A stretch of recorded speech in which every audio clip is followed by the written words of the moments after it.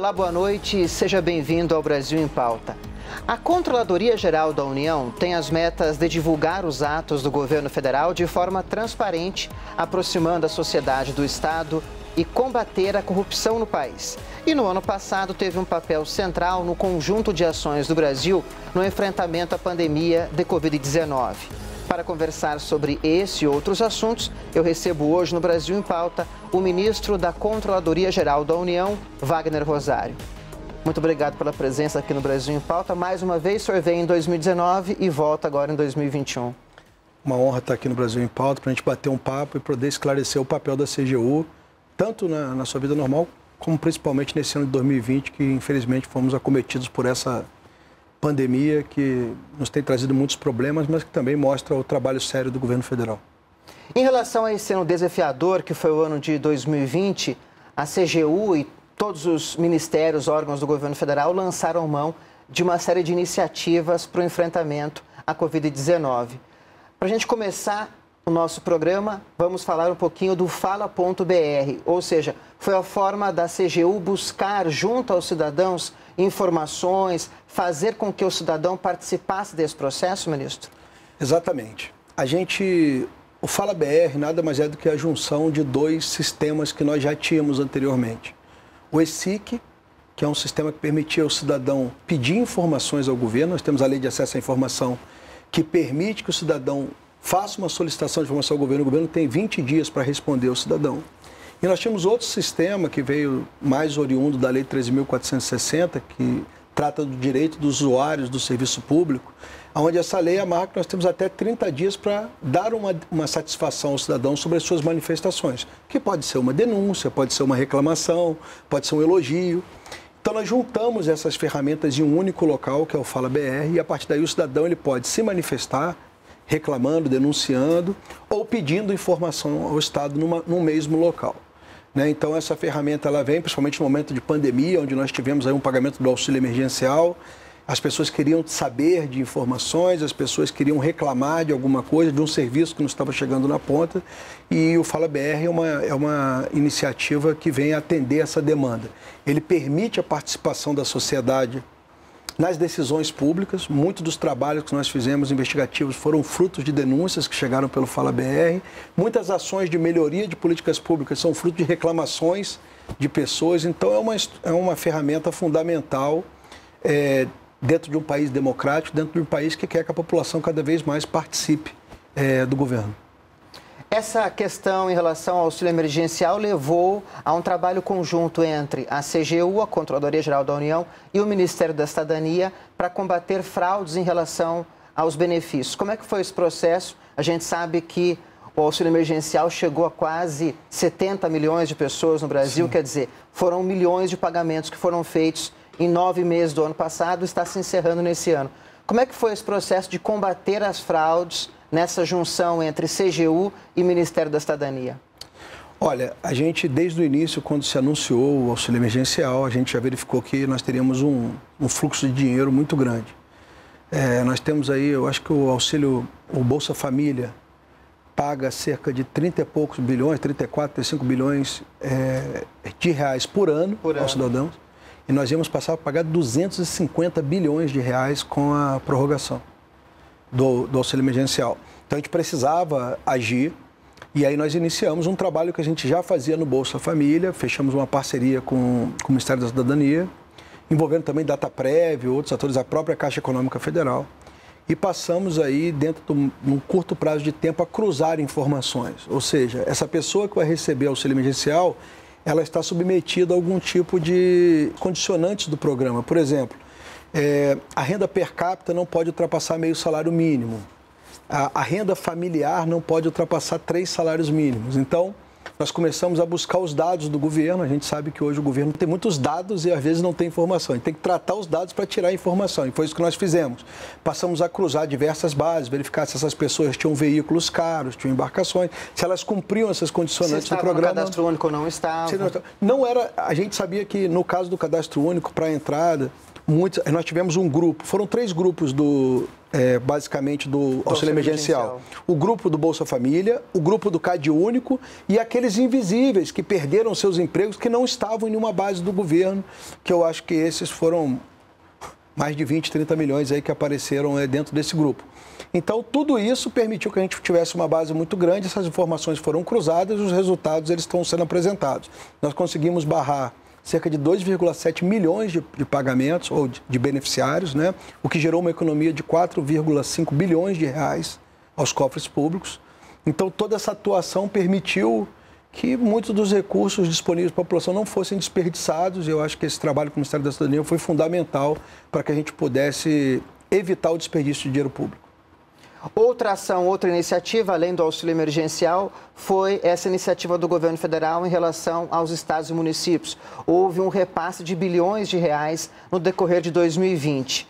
E esse repasse, ele acabou tendo a circunstância de que a lei de licitações, por conta da emergência da pandemia de Covid-19, ela foi flexibilizada em alguns pontos. Sim. A Controladoria, a Controladoria Geral da União também monitorou esses recursos que foram destinados a estados e municípios, isso em parceria com os tribunais de contas dos estados, Ministério Público Federal, Polícia Federal. Esse monitoramento e essas parcerias com outros órgãos permitiu que desvios fossem evitados? Sim. A gente, o que, que a gente fez? Né? A gente fez um trabalho bastante meticuloso. Né?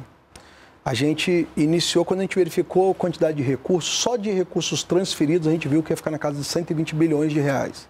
Por quê? Nós tínhamos a Lei Complementar 173 e nós tínhamos a Ação 21C0, que era uma ação específica de combate ao coronavírus, e os recursos iam específicos para a saúde.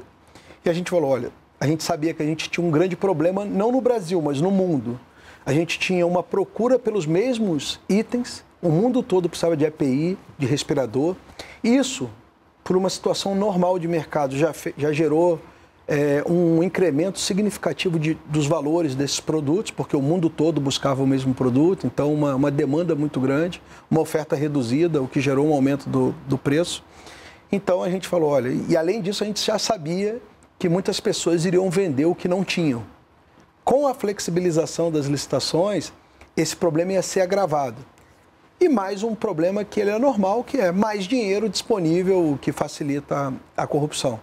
Então, nós iniciamos um, um, trabalho de acompanhamento, fechamos muitas parcerias, como você disse, com outros órgãos, porque muitas bases nós não temos. Por exemplo, base de servidor público estadual, o governo federal não tem. Nós temos a base do servidor público.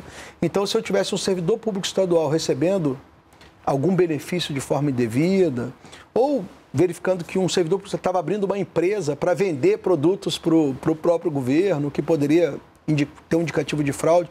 Isso tudo nós não tínhamos. Por isso que essas parcerias foram tão importantes.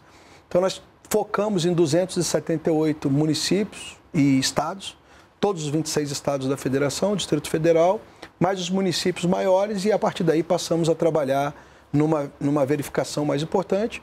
E outro ponto que nós fizemos foi acompanhar as denúncias, para quem às vezes em outros locais, que é onde nós não tínhamos um acompanhamento mais é, detalhado, nós utilizássemos essas denúncias como algum foco de início de trabalhos investigativos.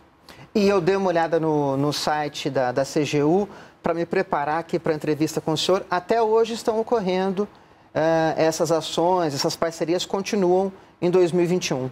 Sim. A gente fez, a gente está com parcerias, depois de detectados os indícios de irregularidade, nós iniciamos também investigações conjuntas. A CGU historicamente atua em conjunto com a Polícia Federal, com o Ministério Público Federal, então, nós já deflagramos 49 operações relacionadas à utilização de recursos do Covid-19. É, demos informações de inteligência para, outra, para outras oito que nós não participamos diretamente e estamos aí com uma grande quantidade de casos em, em investigação ainda. Além de monitorar esses recursos que foram destinados a estados e municípios, a CGU também criou um painel para orientar esses gestores municipais e estaduais em relação a compra justamente de insumos, de equipamentos, é um painel informativo, mas serviu mais como uma referência para esses gestores na hora de analisar as compras, referência de preços. Como é que foi o uso desse painel e como é que foi o retorno desses gestores em relação à CGU? Bem, esse painel foi um, nós discutimos, sentamos em março para discutir, olha, o que, que a gente vai fazer. E, e justamente esse painel acabou nos ajudando para tudo, tanto como referência para os gestores, como indicação de fraude. Por quê? Como eu havia dito, nós selecionamos os 278 entes envolvendo os 26 estados, Distrito Federal, os municípios, todos os municípios com mais de 500 mil habitantes e os municípios mais importantes de cada estado, que tem uma, não tem 500 mil habitantes, mas tem uma população significativa no âmbito do estado. E passamos a acompanhar cada compra. O objetivo desse painel era o seguinte: olha, vamos fornecer uma referência de preço para os gestores nesse momento de pandemia, porque a referência que nós tínhamos anteriormente não é adequada para esse momento onde tínhamos um aumento de preço. Então, só que a partir daí nós fomos incrementando esse painel. Então começamos a verificar que em alguns locais as pessoas, as pessoas os gestores compravam muito de um determinado item. E ah, já que a gente já está olhando o valor da compra, vamos olhar mais coisas. Então passamos a olhar a empresa que estava ganhando a licitação, a quantidade de itens adquiridos. E a partir daí, quando a gente trouxe esses dados, a gente começou a fazer um trabalho de inteligência nesses dados. Então vamos verificar. Essa empresa que está sendo contratada, será que o sócio dela recebe auxílio emergencial? Não é muito comum alguém vender 10, 15 milhões de insumos para o governo e receber auxílio emergencial. Eu posso ter fraude Alguma nas duas tá pontas. Aí. Será que essas empresas possuem um endereço compatível com o que elas vendem ou com o que elas se prestam em termos de serviços, que elas oferecem em termos de serviços? Então passamos a verificar também, olha, qual é o endereço dessa empresa, é, ela realmente está no mercado há quanto tempo? Nós verificamos que 9 milhões de compras realizadas, onde nós, nós verificamos e, e, acompanhamos, esses 9 milhões eram com empresas criadas após dezembro de 2019. Elas foram criadas já quase dentro da pandemia. Será que ela é uma empresa de fachada? Será que ela vai. Então nós passamos a aprofundar e esses foram os insumos utilizados para o início das investigações. Então, um painel que ele tinha por objetivo mais ajudar o gestor numa referência de preço, ele evoluiu dentro da nossa verificação para outros tipos de trabalho, principalmente os investigativos, e muito boa parte dessas 49 operações e de todas essas que estão em andamento, elas são fruto de uma série de, vamos dizer assim, de red flags que foram levantadas com base no, nesse painel. Ou seja, os mecanismos acabaram dialogando entre eles. O Fala.br, o monitoramento, o painel. A gente, a gente praticamente atua na CGU de forma integrada. É, nós temos cinco secretarias na CGU, uma que cuida de transparência e prevenção da corrupção, uma que faz auditoria, uma que combate a corrupção, mais com investigações, informações de inteligência, a Corregedoria Geral da União e a Ouvidoria Geral da União. O que a gente procura fazer dentro de um esquema de luta contra a corrupção é alinhar três vetores. Detectar, ser capaz de detectar casos de corrupção, ser capaz de sancionar os casos detectados as pessoas envolvidas, né, pessoas físicas ou jurídicas, e no último pilar gerar a prevenção. O que, que é? Entender de onde aconteceu a fraude e tentar criar mecanismo para evitar que ela se repita. Dentro desse papel, as cinco secretarias atuam e a gente atua integra de forma integrada. Então, assim, dentro da ouvidoria eu recebo uma denúncia, essa denúncia alimenta o sistema investigativo e ele vai lá tentar detectar. Detectou a irregularidade, é encaminhado para a sanção e também vai para a área de prevenção para criar mecanismos preventivos. Então, todo esse, esse, esse conjunto ele é integrado de tal forma que a gente consiga atuar de forma inteligente e de forma efetiva no combate à corrupção. Sobre essa arquitetura institucional no combate à corrupção, a gente vai tratar agora no segundo bloco. A conversa está boa, a gente já volta. Daqui a pouco voltamos com o Brasil em Pauta. O entrevistado do programa é o ministro da Controladoria Geral da União, Wagner Rosário. Não saia daí.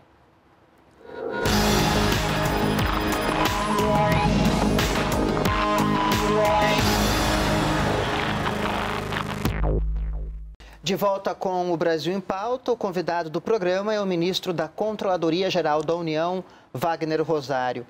Ministro, o senhor terminou o primeiro bloco falando um pouco dessa arquitetura institucional da CGU, essas cinco secretarias que trabalham de forma integrada. Por exemplo, em 2020, o governo federal ele teve um gasto extra de cerca de 700 bilhões de reais com a Covid-19 nas diferentes ações, o que equivale a quase 10% do PIB brasileiro, da economia nacional, que é de mais de 7 trilhões de reais. É um volume grande de recursos? É difícil monitorar tudo isso? É difícil.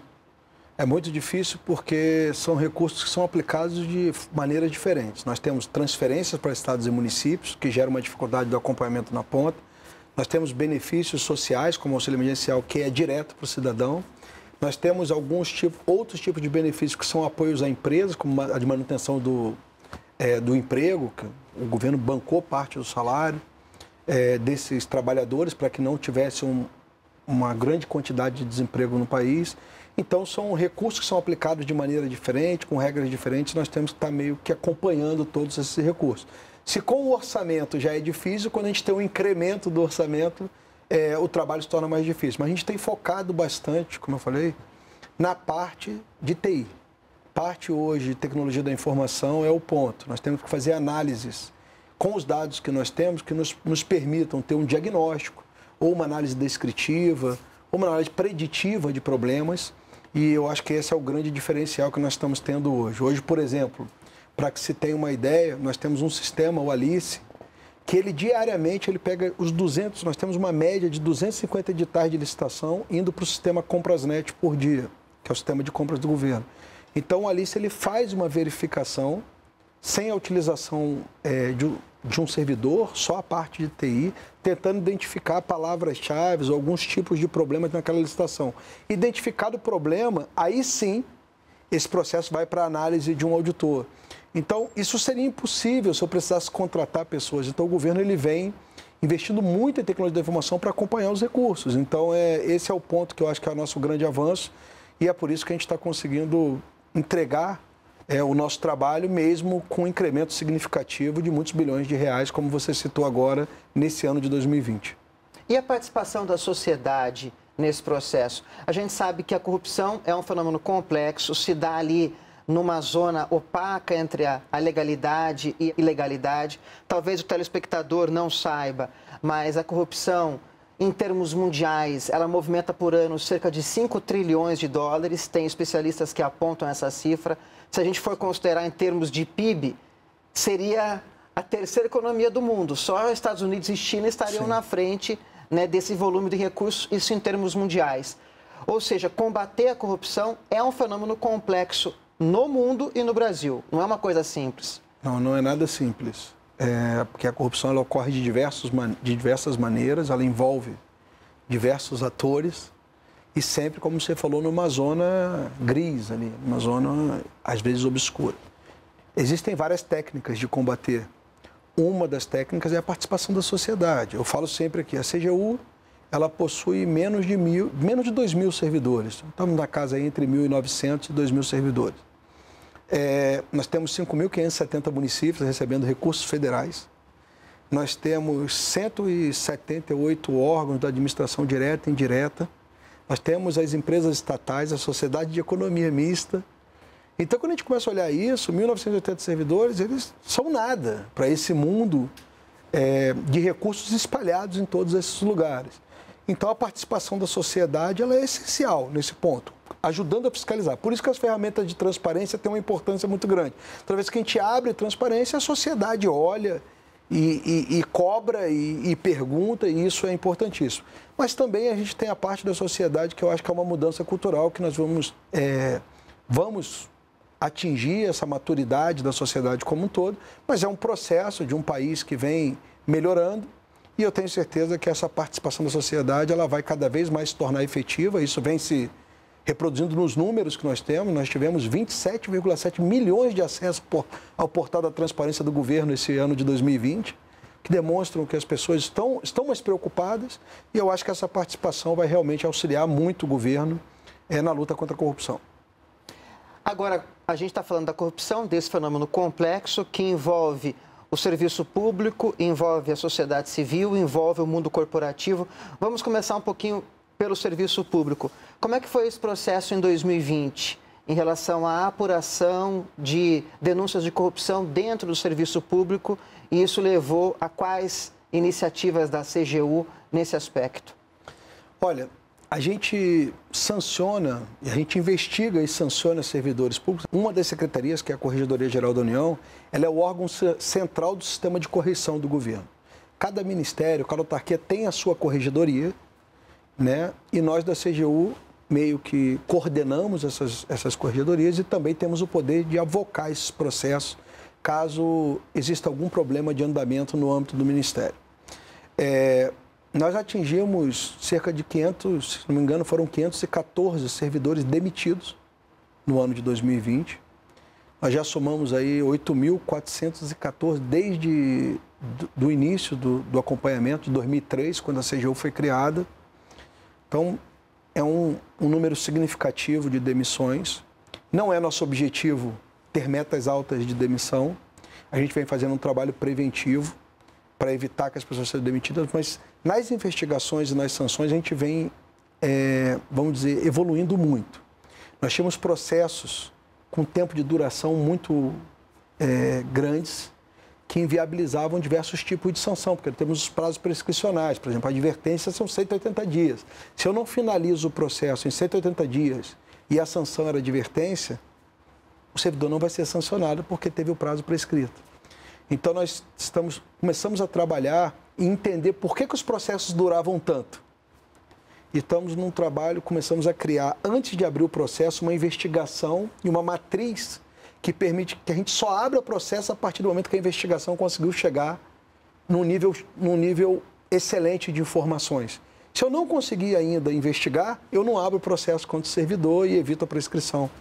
Então a gente está evoluindo nessa parte, estamos diminuindo bastante o tempo de, de duração desses processos. Aliado a isso, nós criamos uma ferramenta importante, que é o termo de ajustamento de conduta. Foram mais de 2 mil no último ano. Ou seja, qualquer sanção que o servidor, qualquer irregularidade que o servidor cometa, que não caracterize demissão, vá até 30 dias de suspensão, a gente permite que ele faça um termo de ajustamento de conduta, onde ele assume o erro que ele cometeu, ele assume um comportamento diferente para frente. Isso faz com que a gente trabalhe é, uma parte de, de, integridade dentro do governo.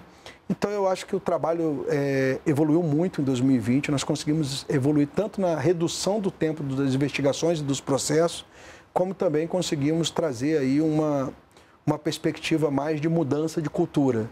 O fato de, em 2020, muitos servidores do governo federal, penso eu também, nos estados e municípios, mas a gente está falando aqui do governo federal, terem trabalhado em casa, no formato home office, mudou alguma coisa nessa questão? Aumentou, diminuiu? Há uma, uma análise em relação a isso? A nossa análise, a gente, como eu, a CGU já trabalhava mais ou menos com, essa, com esse modelo em cerca de 20% a 30% do seu efetivo. Hoje nós fomos a 90 e poucos por cento trabalhando de casa. É, a nossa percepção inicial é que houve uma melhoria de rendimento. Nós conseguimos é, fazer com que os servidores rendessem mais, mesmo porque a gente já vinha fazendo um piloto com esses 20%, 30% para não tornar uma coisa só. Trabalho de casa, não isso. Eu tenho que ter, a administração tem que se organizar, ter metas de trabalho, ter prazos para que esses trabalhos sejam entregues, para que realmente a gente consiga controlar essa pessoa que está em casa. Agora vamos falar um pouquinho do mundo corporativo e da corrupção. A gente tem essa figura dos acordos de leniência no Brasil, onde a empresa que é acusada de corrupção, ela admite que ela teve um ato corrupto, ela muito provavelmente devolve um dinheiro à União desse ato de corrupção e, com isso, ela pode voltar, por exemplo, a participar de licitações, de uh, compras governamentais. Como é, que os, como é, que foram os acordos de leniência em 2020? E o senhor tem uma novidade agora para falar para a gente sobre sim, isso também, né? Sim. Olha, 2020 nós fechamos somente um acordo de leniência. Um acordo não muito grande com a Carrental, ele somou o 12 acordo. Nós tivemos, iniciamos o primeiro acordo em 2017. Foram dois. Em 2018 subimos para quatro. Em 2019 fomos para cinco. E, esse, e o ano 2020 foi só um. É, essa redução na quantidade de acordos não foi pela, vamos dizer assim, por não termos é, acordos em andamento. Hoje nós temos cerca de 22 acordos em andamento. É, mas sim porque o primeiro o início da pandemia deu um pouco de uma travada nas negociações. Migramos para um contato à distância, esses contatos eles eram presenciais, porque tem muitas informações sigilosas envolvidas no processo, então nós tivemos que adaptar, ter a segurança de que essas reuniões poderiam ser realizadas à distância com a segurança da informação necessária. Mas é, o, como você mesmo disse, o acordo de leniência ele é um instrumento importantíssimo no combate à corrupção. Hoje, praticamente, se a gente vai nos países que são mais desenvolvidos nessa área, eu falo que o Brasil está hoje entre os três países mais desenvolvidos nessa área de leniência. Teríamos, bota aí Estados Unidos, Reino Unido e o Brasil, agora, que tem experiências práticas, esses acordos eles têm sido uma principal ferramenta, porque o, a empresa, no caso dos acordos leniência, ela abre mão do contraditório e ampla defesa e vem colaborar com a investigação. Ela traz outros envolvidos na investigação e é claro que durante a negociação nós cobramos dois valores da empresa. Um valor de multa, que é o previsto na lei, a, a empresa paga uma multa que vai de 0,1 a 20% do faturamento bruto da empresa. E nós temos um segundo ponto, que é o ponto do dano que ela causou ao erário. Para que a gente tenha uma ideia, esses acordos que nós fechamos, eles somam mais de 3 bilhões de reais. E nós já estamos nas contas públicas com 3,9 bilhões de reais. Ou seja, fechamos acordos de 13 bilhões que as empresas vão pagar no decorrer do tempo, sendo que praticamente 4 bilhões já estão na conta. Eu devo estar fechando quatro acordos já até o mês de março ou mais tardar abril, né, nós temos prazos para esses acordos e temos mais outros para assinar no, no, decorrer do ano. Espero, espero que venhamos a fechar em torno de sete acordos a oito esse ano. Então, é, vamos continuando, incrementando aí a luta contra a corrupção e permitindo é, um avanço num ponto que o Brasil nunca evoluiu, que é a efetividade da recuperação dos recursos desviados. Muitas vezes nós conseguimos sancionar, mas não conseguimos recuperar o que foi desviado. E os acordos trazem esse aspecto que é essencial para a população como um todo. Ministro, infelizmente o nosso tempo está acabando. Muito obrigado pela participação aqui do senhor de novo no Brasil em Pauta. Olha, é sempre um prazer e eu estou sempre pronto para vir aqui para a gente bater um papo e esclarecer a sociedade sobre o nosso trabalho. Perfeito. Eu conversei com o ministro da Controladoria Geral da União, Wagner Rosário. E se você quiser rever esta ou outras entrevistas, siga as nossas redes sociais ou baixe o TV Brasil Play. Obrigado pela companhia e o Brasil continua em pauta aqui na TV Brasil.